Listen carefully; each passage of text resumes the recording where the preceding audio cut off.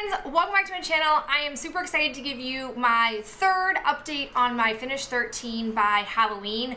I wanted to get this filmed a little bit sooner in the month, but I've had a really hard time filming on the weekends because it's been raining, which makes it super hard to film when I don't have nice weather. But enough of that. Let me show you the things that I've used up since my last update.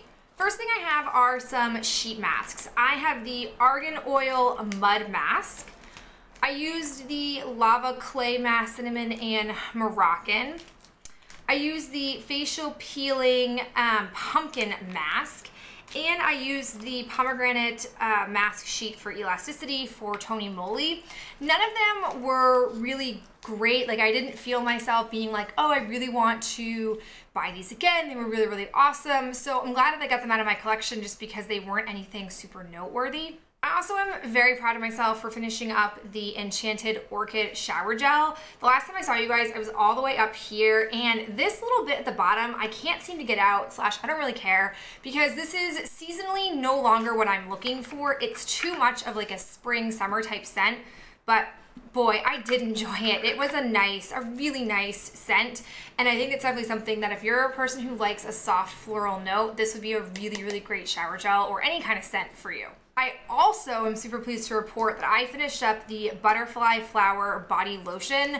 I had quite a bit of this left when I came to you guys during um, my last update, and I had to really push myself because right around mid-September time, I don't ever know when it fully will happen, but so my skin needs change. I go from finding this to be just enough moisturization to being super terrible and my skin just is so thirsty. And so I finished this right at the tail end of that change happening and now I'm just straight using my triple body moisturizers or triple body creams, whatever they're called now at Bath & Body Works. But got this scent out of my collection and even though I did like it, I was definitely sick of it by the end. Um, I also have the Victoria's Secret Bombshell Body Mist. I did not have a ton of this left at the last update, but you know what? It's gone. I'm super happy. I'm working on yet another travel size, and I think I'm down to like maybe a handful of sprays left in total, which is phenomenal. It's taken me such a long time to get through those, and that's been without purchasing anything, just a straight use it up category, and it's been a work in progress. Okay, now onto the things that I have left. The first thing I have is my Suave Moroccan Infusion uh, Styling Oil. Happy to report some good progress here. Was up here and I hadn't really been using it so I have no other line but now I am down to this Suave mark here. Really pleased with this. Definitely something that I think wasn't the best for this particular challenge because I didn't use a lot of hair oil in the summer or in the start of the month when I was still scrunching my hair, but now that I'm not, I'm plowing through this. Super happy about it because like I said, I have a few more hair oils on backstock that I just want to get out of my collection. Um, I also have some really good progress on the Previse Skin Type 1 through 6 Step 2 Nutrify. Uh, I was up here at the last update and now we are down to here. Really not much left. That should be becoming quite tricky. I'm having to sort of tilt this to the side to be able to be able to to be able to get some product out of here. And I'm feeling good about this. I don't necessarily think this is the best thing for my skin. I much prefer the number seven skincare line, but I'm happy that I'm getting use out of it because it is a pretty pricey product and it came in a boxy charm. I also have the French Lavender and Honey Fine Fragrance Mist.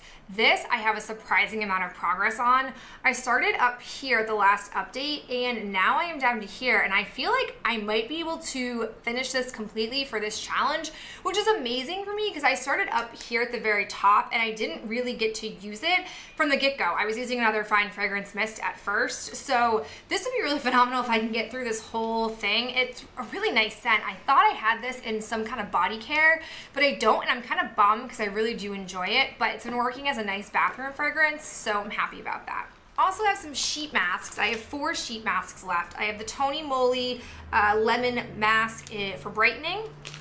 I have the Freeman Feeling Beautiful Diamond Mineral Rinse Mask. I've got the um, Montagne Jeunesse, which is now Seventh Heaven, Mint Chocolate Chip Mask. And then I have the same brand in the Hot Spring Sauna Mask. I've been kind of dragging my feet on masks just because I've been wanting to use ones that are more for like oiliness and acne prone skin. It's kind of what I've been dealing with for the past, I'd say like six weeks at this point. Um, and so I think if I ever do put masks in a challenge again, I'm just gonna do a certain number, not pulling out certain masks because I'm finding that that's kind of a deterrent for the success of using those masks.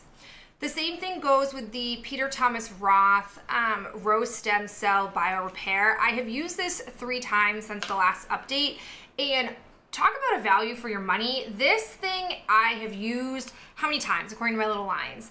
I've used it seven times and I have so much product left in here. I really am liking that I'm keeping track of number of uses because it gives me a really interesting insight into how many uses you get out of this particular tub, which I don't think I would have ordinarily been able to judge based on just marking lines. So I'm really enjoying this. It's a nice mask and I really find that it does help replenish my skin and makes it a bit softer. The last thing I have is my Garnier Purifying Foam Cleanser for combination skin. I cannot see inside this, but when I shake it, I think I'm down to here. I've made some pretty good progress. I'm basically using this every single day because I'm showering basically every single day. And I just want to get this done. I think it's hard to use this because you don't need very much foam to cover your entire face. And because it turns into a foam, it doesn't make um, the progress super steady. But I'm hoping by the end of the month, this will be gone because I'm just so tired of this face cleanser.